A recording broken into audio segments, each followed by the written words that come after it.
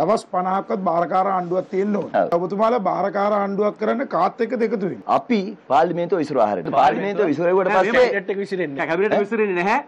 ඊළඟ ඊළඟ පාර්ලිමේන්තුව රැස් තුන් වෙන දෙනාට තුරු ඔක්කොම පවතින අගමැතිවරයා පවතින කැබිනට්ටුව බාරකාර රජයක් වශයෙන් නීති අනුව ක්‍රියාත්මක වෙනවා. දැන් පාලන ඒ බාරකාර ආණ්ඩුව දැන් මෙයාලා මෙයාලා ඉතින් මෙයාලා කියන් ඉන්නද අපි කැබිනට් එකේ ප්‍රශ්නේ මතු නොවේ. ඒ බාරකාර ආණ්ඩුව බාරකාර ආණ්ඩුව අනිවාර්යයෙන්ම ජනාධිපතිවරට පත් කරන්න පුළුවන්.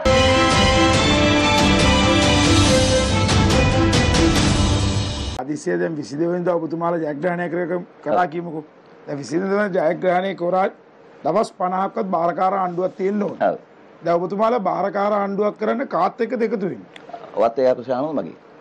ඒක දැන් මෙතුමා ඇහුව නිසා මං අහන්න අවශ්‍ය නැහැ. අවශ්‍ය නැහැ. ඒකම මොකද මේ මේ තිදෙනාගෙන් ඇහුවා right, ඒක මම මේ දූෂිත චෝදනා තියෙන මේ පාර්ලිමේන්තුවෙන් එක දවසක්වත් අපි වාරකාර ආණ්ඩුවක් පවත්වාගෙන යන්නේ නැහැ. වගකීමෙන් කියන්නේ අනුර කුමාර දිසානායක සහෝදරයා වැඩ බාර ගන්නවා ජනාධිපති හැටියට දිවුරුම් දෙනවා රටේ ව්‍යවස්ථාව අනුව අපි ව්‍යවස්ථා විෂය බාර අයගෙන මේක පැහැදිලි කරගෙන තියෙනවා.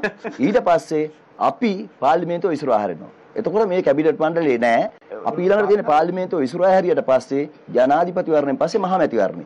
ඊයේ දක්වා කාලය තුල අමාත්‍යංශ ලේකම්වරුපත් කරන්න පුළුවන් ජනාධිපතිවරයාට අමාත්‍යංශ ලේකම්වරුපත් කරලා ඒ අමාත්‍යංශ ලේකම්වරු මගින් මේ 25 දෙනාගේ අමාත්‍යංශ අපි පවත්වාගෙන යනවා. කවුරු මම හිතන්නේ ලෝක ලණුවක් නෑ, දෙනවා. පාර්ලිමේන්තු විසිරුවා මම කැබිනට් කරන්නේ මම මම නෙමෙයි. මොකද පාර්ලිමේන්තුව විසිරුවට පස්සේ කැබිනට් එක විසිරෙන්නේ කැබිනට ඈ? විසිරෙන්නේ නැහැ. හරි, ඊළ- කැබිනට්. ඊළඟ ඊළඟ පාර්ලිමේන්තුව රැස් තුන් වෙන දෙනාට තුරු ඔක්කොම පවතින අධිකාර දෙන්න අගමැතිවරයා පවතින කැබිනට්ටුව බාරකාර රජයක් වශයෙන් නීති අනුව ක්‍රියාත්මක වෙනවා. දැන් ඒ කියන්නේ හඳුනිත මැතිතුමාලාට උපදෙස් දෙන නීතිඥ මහත්තයා ගැන පොඩ්ඩක් බලාගන්න. ඔය තුන් දෙනාට ඇමතිකම් දුන්නට ප්‍රශ්නයක් නැහැ හොඳයි, මං හිතන්නේ- අපි ඒක බලමු. හරින් ප්‍රාන්ත මහත්මයා ඇහුවේ මම අහන්නේ ප්‍රශ්නේ අපිට- ජනාධිපතිවරයා දිවුරුම් දුන්නට පස්සේ. ඒ ජනාධිපතිවරයාට තියෙන කැබිනට් මණ්ඩලය විසිරවන්න බලය තියෙනවා. හරිද? ඊට පස්සේ ඒ ජනාධිපතිවරයා තමයි තීරණය කරන්නේ තමන්ගේ කැබිනට් මණ්ඩලය විසිරවන්න පුළුවන්. කරන්න පුළුවන් පුළුවන් මේ කැබිනට් මණ්ඩලය අපි තියාගෙන අනිල් වික්‍රමසිංහයි කියලා. ඔටෝමැටිකලි ඔටෝමැටිකලි මේ හොරු ටික තියාගෙන අපි ආණ්ඩුවක් කරයිද දන්නකො මාසයක් තියා දවසක් අතට කරන්නේ. ඊළඟ ඊළඟ පාර්ලිමේන්තුව රැස් වෙන තුරුම පවතිනවා. එතකොට ඒ නිසා දැන් මෙතුමා කියපු කතාව වැරදි. මෙතුමා කියන්නේ එහෙම නෙමෙයි කියලා. නෑ ඒක තමයි එතු- එතුමා කියන කතාව වැරදි. ඒක මම කියන්නේ. දැන් ඒක නෙමෙයි දැන් මට තියෙන ප්‍රශ්නේ. අර දැන් වාහනේ ප්‍රශ්නේ.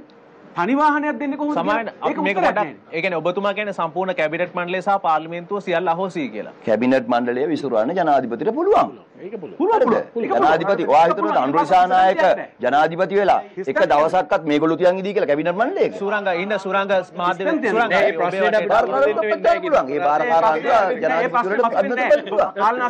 ඒ බාරකාර ආණ්ඩුව දැනුව බැලුවේ දැනුව බැලුවේ. ඒක- දැන් මෙයාලා මෙයාලා ඉතින් මෙයාලා තියන් ඉන්නද අපි කැබිනට් එකේ ප්‍රශ්නේ මතු නොවේ. ඒ බාරකාර ආණ්ඩුව බාරකාර ආණ්ඩුව අනිවාර්යයෙන්ම ජනාධිපතිවරට පත් කරන්න පුළුවන්.